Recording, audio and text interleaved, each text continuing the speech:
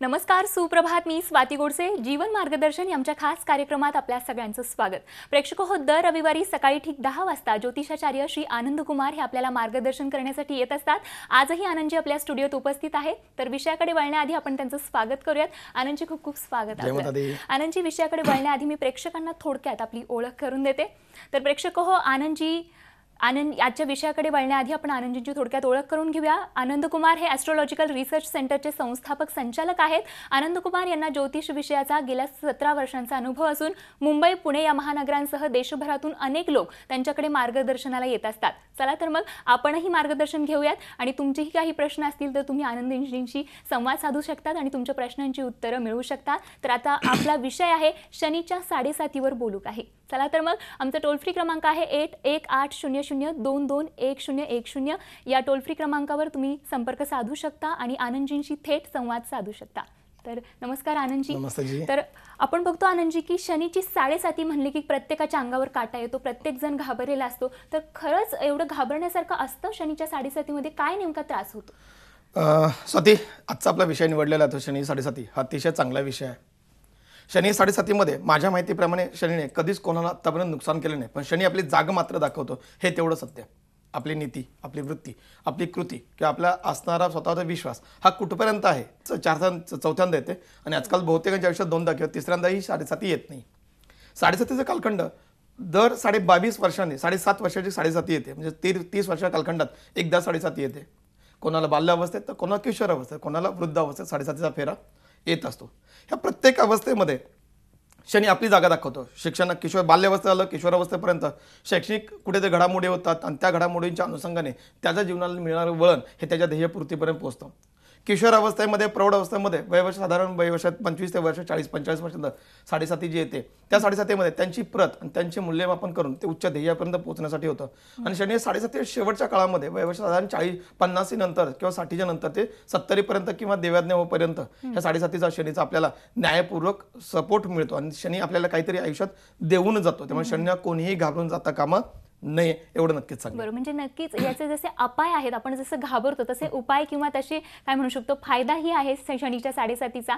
मात्र ज्यांना अपाय आहे असं वाटतं शनी साडेसात फायदा जास्त आहे कारण शनी आपल्या त्यातलं एक तो त्रास देतो. जो त्रास होतो त्याच्या त्रासामागे म्हणजे चढ आहे तिथं उतार आहे. त्रास आहे त्रासामागे काहीतरी आनंदी गोष्ट आहे आणि आनंद मिळवायचा असेल तर काही काळ त्रास काढावा पण त्रासातून चांगला अर्थ घ्यावा चांगला अर्थ तुम्ही घ्याल तर पुढे गतिमान होता येईल असं नक्कीच सांगेन.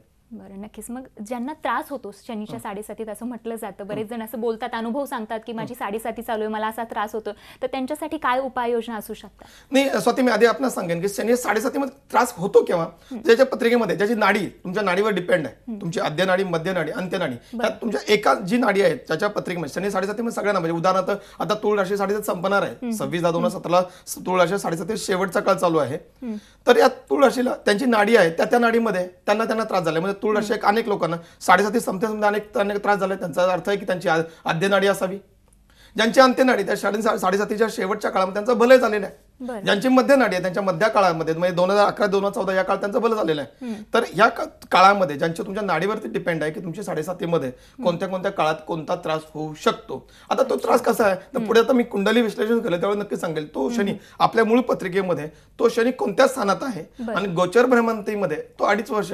साधारण कोणत्या स्थानातून भ्रमण करणार आहे?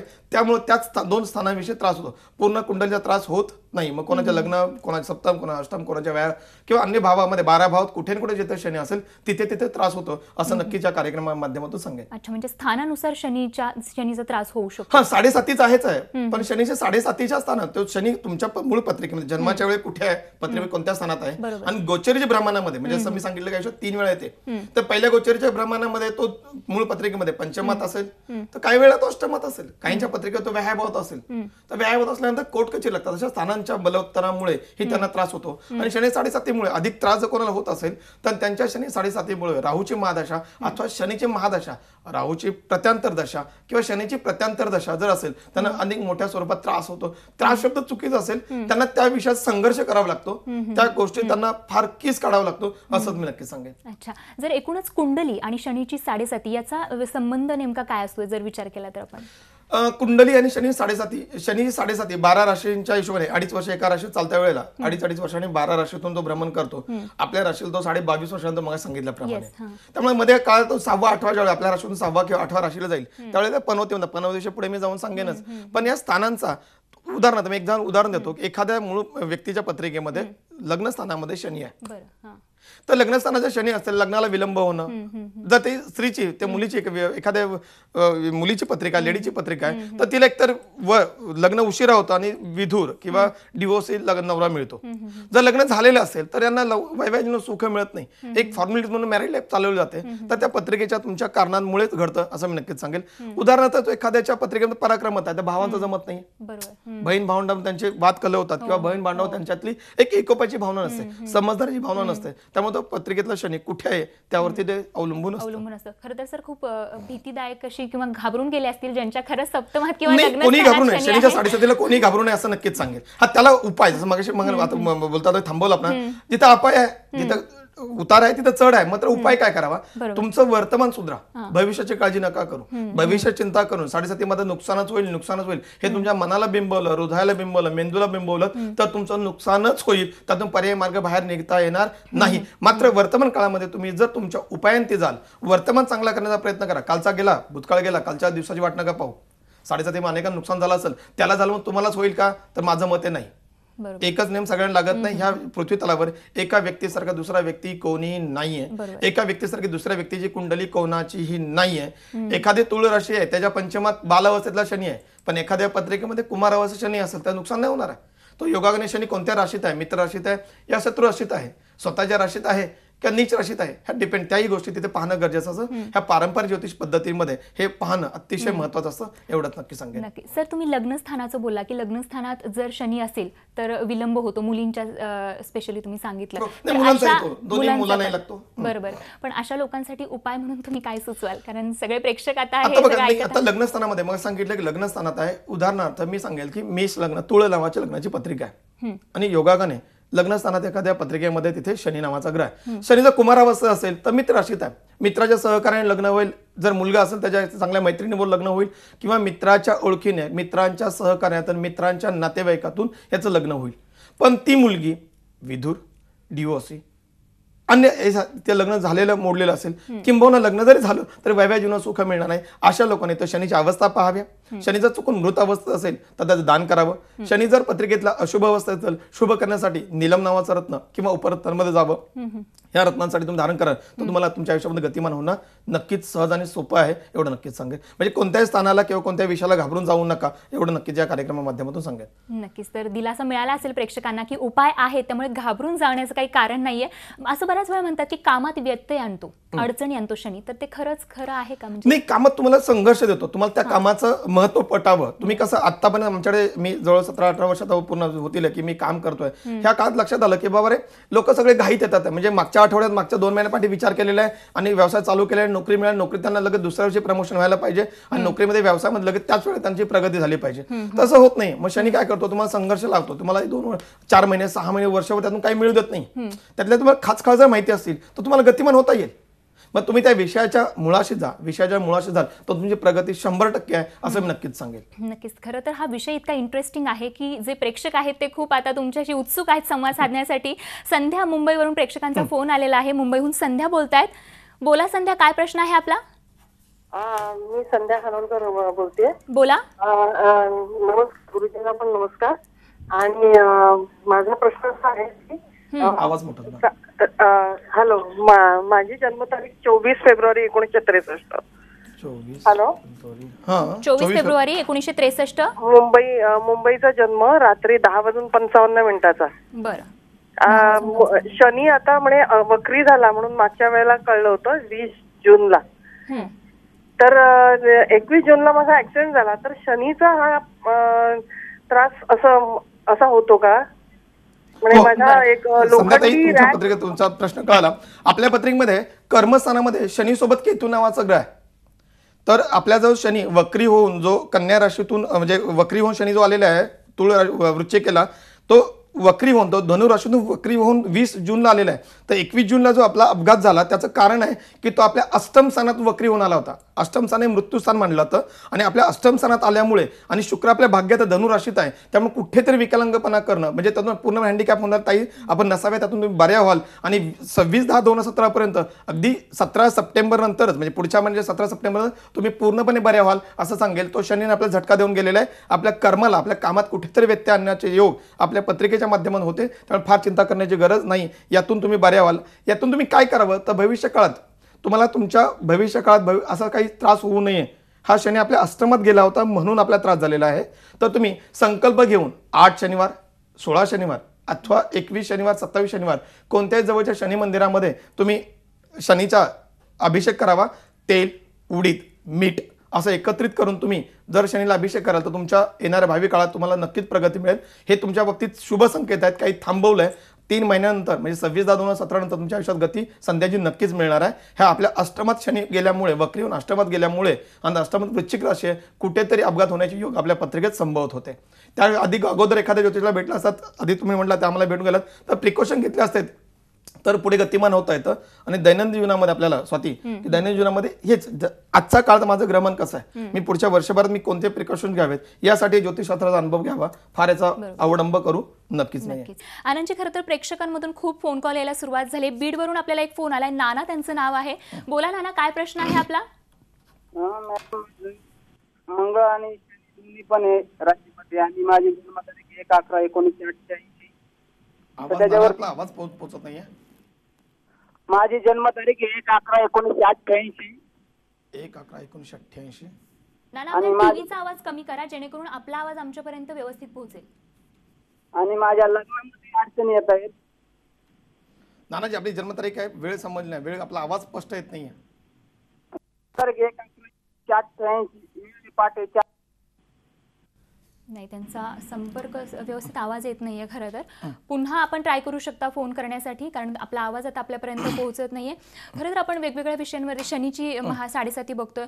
पनोती हा एक असा विषय आहे की पनोती म्हटलं की सगळे घाबरतात जशी की शनीची साडेसाती असते. तर नेमका हा हा काय प्रकार साडेसाती स्वाती साडेसाती ही साडेसात वर्ष साडेसाती असते. तुमच्या नाडी पत्रिकेतल्या नाडी या विषयावर तुमच्या अनुषंगाने तुम्हाला त्या त्या वेळेत तुम्हाला शुभ फलित देते. पण पनोती नावाचा प्रकार आहे. हा आपल्या राशीपासून शनीचा सहावा आठवा चालतोय तर या लोकांना पनवती म्हणली जाते. येत्या सव्वीस दहा दोन हजार सतरा पासून कर्क आणि वृषभ राशी लोकांना पनोतीचा कालखंड चालू होतोय. तो अडीच वर्ष असणार आहे. तेवीस जानेवारी दोन हजार वीस पर्यंत ह्या कर्क आणि वृषभ राशी लोकांना पनवती आहे. ह्या पनवती काळामध्ये प्रत्येकाने प्रिकॉशन काय घ्यावेत? तर महत्त्वाचे कोणते निर्णय घेऊ नयेत? जर महत्त्वाचे निर्णय घ्यायची वेळच पडली असेल तर त्या विषयाचा पूर्णपणे अभ्यास करून त्या विषयात सखोलपणे अभ्यास करून जर प्रॉफिटच्या ऐवजी नुकसान किती होऊ शकतं त्या विषयाचं याचा सखोल जर तुम्ही अभ्यास करतात तर पुढे आता यश नक्कीच मिळेल. साडेसाती अथवा पनोती काळामध्ये किंबहुना शनी सा महादशा मी मला सांगितल्याप्रमाणे तर अशा काळामध्ये आपले ध्येय उद्दिष्ट पूर्तीसाठी आपण जर लॅपिस नावाचं रत्न धारण करा अतिशय स्वस्त आहे आणि सहज अवेलेबल होणार आहे त्याचा कोणताही प्रकारचा साईड इफेक्ट होत नाही. लॅपिस नावाचं रत्न धारण करा तर पनवतीपासून कोणताही त्रास होणार नाही. अगदी सुरुवातीला एक फोन आला संध्याताईंचा. तर संध्याताईनं सांगितलं त्यांची राशी आहे ती मकर काय कुंभ राशी मकर राशी होती. आणि मकर राशीच्या अनुषंगाने त्यांना साडेसातीची पण वेळ चालू आहे. तर ताईंनी लॅपिस नावाचं रत्न धारण केला तर पुढच्या येणाऱ्या साडेसाती मधला जो वाईट काळ आहे तो नक्कीच पुढे संपेल आणि पुढच्या येणाऱ्या काळामध्ये भलं होईल ज्यांची साडेसाती आहे ज्यांची पनवती आहे अशा लोकांनी नक्कीच लॅपिस नावाचं रत्न धारण करावा. विशेष मी सांगेल की वृक्ष लोकांनी यांनी कंपल्सरी लॅपिस नावाचं रत्न धारण करावा. लॅपिस नावाच्या रत्नामुळे दोन फायदे आहेत. एक तर विजन ध्येय उद्दिष्ट क्रिएट होतात आहे. आणि तुमच्या ध्येय पूर्तीपर्यंत तुमच्या इच्छा आकांक्षा पूर्तीला तुम्हाला हा शनी मात्र नक्की तुमच्या विषयाला न्याय देईल असं नक्कीच्या कार्यक्रमाच्या माध्यमातून नक्कीच सांगेल. पनवती म्हणजे फार वाईट नसतं पण प्रत्येक गोष्टी अडचण येतात. प्रत्येक गोष्टीत थांबावं लागतं. आणि तुमच्या अशी कोणती गोष्ट थांबू नये. म्हणून लॅपिस रत्न धारण कराल तर घोड्यासारखे पळाल असं नक्कीच सांगेल. नक्कीच. आनंदजी नाना यांच्याशी मगाशी आपला आवाज पोहोचू शकला नव्हता मात्र त्यांची माहिती आपल्याजवळ मिळाली आहे. तर ते आता सध्या टीव्ही बघतायत त्यांना आपण त्यांची माहिती उत्तर देऊया त्यांच्या प्रश्नाचं. त्यांची जन्मतारीख आहे एक अठरा एकोणीसशे अठ्ठ्याऐंशी. आणि. पहाटे चारचा जन्म आहे त्यांचा बीड या ठिकाणी.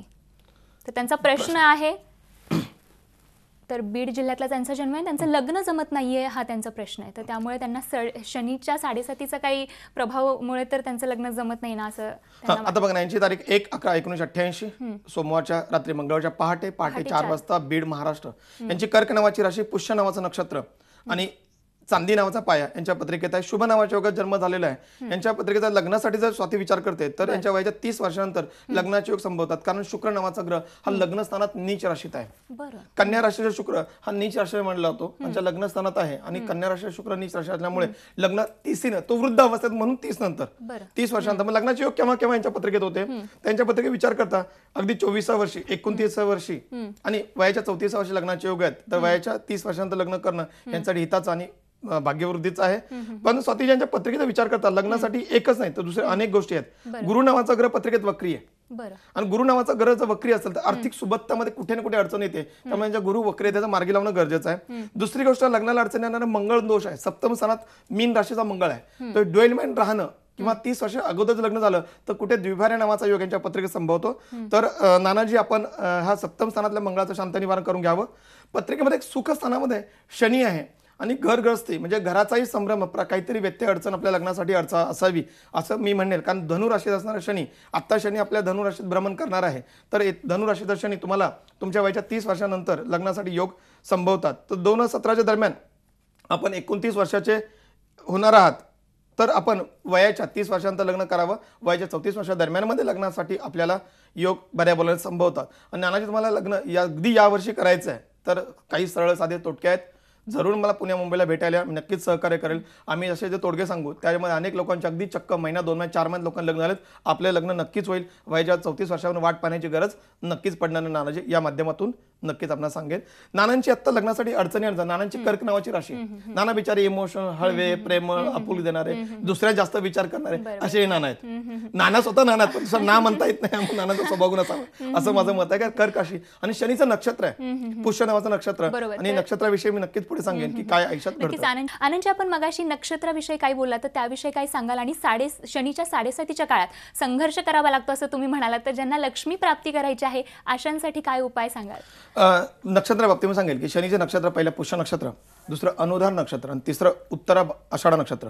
सॉरी उत्तर भाद्रपद नक्षत्र. ह्या तीन नक्षत्र ज्यांच्या पत्रिकेत आहेत किंबहुना ज्यांच्या पत्रिकेमध्ये आत्ता वृश्चिक राशी धनुराशी मकर राशी कर्क वृषभ राशी या लोकांनी कंपल्सरी लॅपिस नावाचं रत्न धारण करावा. यांना संघर्षमय जीवन आहे. या शनीच्या साडेसातीमध्ये मानसिक त्रास यांना नक्कीच होतो. ज्यांच्या पत्रिकेमध्ये पुष्य अनुराधा किंवा उत्तर भाद्रपद नावाचं नक्षत्र आहे. अशा लोकांनी जर लॅपिस नावाचं रत्न धारण करतात तर त्यांना कधीही अपयशाला सामोरे जावं लागणार नाही असं सांग- नक्कीच म्हणजे सांगेल साठ- लॅपिस- लॅपिस नावाचं रत्न धारण करणं केव्हाही चांगलं विजन ध्येय आणि उद्दिष्ट होतात आणि तुमच्या ध्येयपूर्तीपर्यंत नेण्यासाठी तो राजमार्गाचा रत्न म्हणजे आहे. लॅपिस रत्न खूप लाभदायी असं म्हणायला काय हरकत नाही. खूपच लाभदायी आहे. फोन कॉल यायला सुरुवात झाली आपल्याला. विकास आहेत मुंबईहून. बोला विकास काय प्रश्न आहे आपला? मॅडम नमस्कार. नमस्कार. माझं नाव विकास आहे. माझी जन्मतारीख आहे बारा डिसेंबर अं, एकोणीसशे अठ्ठ्याऐंशी. तर मला असं विचारायचं आहे की माझी जन्म रात वेळ काय कुठली आपली? आहे? माझी जन्मवेळ सायंकाळी सात ते आठच्या मध्ये आहे. बरोबर तुम्हाला माहिती नाही का? की नाही मला नेमकी वेळ माहिती नाहीये. विकास सर तुमची प्रश्न काय आहे? माझा प्रश्न असा आहे की माझी रास कुठली? आणि माझा ग्रह कुठला? आणि दुसरी दुसरं मला माझ्या आयुष्यामध्ये सरकारी नोकरी मला मिळणार मिळणार का? बरं. आणि लग्नाची शक्यता केव्हापर्यंत आहे? लग्न? बरं ठीक आहे. विकास तुमच्या प्रश्नांची उत्तरं देण्याचा प्रयत्न करतील आणि जे एकूणच त्यांची कुंडली त्यांच्या जवळ नाहीये त्यांची कुठली डिटेल त्यांना तितकीशी माहिती नाहीये तर अंदाजे काय सांगाल विकास? बारा बारा एकोणीशे अठ्ठ्याऐंशी वार सोमवार आणि संध्याकाळी अंदाजे साडेसातची वेळ घेतो तर मकर नावाची राशी आहे. उत्तर आषाढा नावाचं नक्षत्र आहे. आणि सगळ्यात महत्वाचं यांचे जर पत्रिकेत विचार करतोय तर यांना सरकारी नोकरीचे योग यांच्या पत्रिकेत आहेत का? तर स्पष्ट उत्तरे नाही. कारण जी वेळ तुम्ही सांगितलेली आहे. त्या वेळेच्या साधारण एक तास अगोदर एक तास नंतर मी साडेसातची अंदाजे वेळ घेतलेली आहे. साडेसातच्या म्हणजे साडेसातच्या अगोदर साडेसहा वाजल्यापासून ते जवळजवळ पावणे नऊ वाजल्यापर्यंत अंदाजे या वेळेचा जन्म केव्हाही झाला असेल तुमची राशी ही मकर नावा सॉरी ही तुमची राशी जी आहे ती मकर नावाची राशी आहे आणि उत्तर आषाढा नावाचं नक्षत्र आहे. तर त्यामुळे तुमचा जो रवी नावाचा ग्रह जो सरकारी नोकरीसाठी पूरक आणि उत्तम असायला पाहिजे. तुमच्या षष्ठ भावात आहे वृश्चिक राशीत आहे. त्यामुळे सरकारी नोकरीसाठी आपण प्रयत्न करू नये. आपल्या नशिबात किती अनन्य अनन्यसाधारण प्रयत्न केले तरी तुम्हाला नोकरी लागणार. नाही. आता राहिला लग्नाचा प्रश्न. लग्न ह्या चॅनलच्या का कार्यक्रमाच्या माध्यमातून एवढं विश्लेषण होणं शक्य नाही. आधी नोकरी स्थिर करा. लग्नाच्या कार्यासाठी जरूर आमच्याकडे आम्ही तुम्हाला नक्कीच सहकार्य करू. विकास तुम्ही प्रत्यक्ष पण आनंदजींना भेटू शकता आणि तुमच्या प्रश्नांची उत्तरं जाणून घेऊ शकता. आनंदजी आपण नीलमरत्नाविषयी बोलत होतात की नीलमरत्न धारण करणं कितपत योग्य? बरेच जण नीलमरत्न धारण करतात. तर त्याचे काय हो, फायदे? नीलम रत्न धारण करणं नक्कीच चांगलं. शनीचा न्याय मिळणं तुमच्या आयुष्यात प्रगती साधता येणं. नीलम रत्न शनी हा न्यायाचा कारक आणि वृद्धीचा कारक आहे. तुम्हाला प्रॉपर जर न्याय मिळायचा असेल निलमराचा रत्न धारण करावं. निलम नावाचं रत्न सगळ्यांना पॉकेटला परवडणार असेल असं नाहीये. मग त्याचे उपरत्न आहेत फिरोजा आहे लॅपिस आहे किंवा शनी तारका आहे काळा अकिक आहे असे नावाचे रत्न तुम्ही धारण कराल तर नक्कीच चालेल. अगदी यांची साजूक तूप घ्यायची ऐपत नाही त्यांनी आजचं शेंगदाणा तेल जमिनी तेल घ्यावं किंवा अन्य कोणतं तेल घेऊन आजची त्यांची वेळ भागवावी असं नक्कीच सांगेल. अगदी नीलम नावाचं रत्न सिलोन जातीय नीलम नावाचं रत्न अतिशय महागडा असतो. एवढा महागडा रत्न घेण्याची गरज नाही. आजची वेळ भागवा. वर्तमान चांगला करा. उद्याचं भविष्य नक्कीच चांगलं आहे उद्या तुपात नक्की जेवण कराल. आजची फोडणी फक्त भाजीला द्या. तुमची भाजी आजची रुचकर होऊ द्या. उद्याचा काळ नक्की तुमच्या आयुष्यात नक्कीच चांगला तर एकूणच वर्तमान काळ जर आपण व्यवस्थित प्लॅन केला तर भविष्य चांगलं घडेल. नक्कीच होतं. शनीच्या साडेसातीवरून अनेक प्रश्न आहेत अनेक खरं तर प्रश्न पडलेले आहेत प्रेक्षकांना. मात्र वेळेची मर्यादा आपल्याला संपलेली आहे त्यामुळे आपल्याला इथेच थांबावं लागतंय. झी चोवीस तास. रहा एक पाऊल पुढे.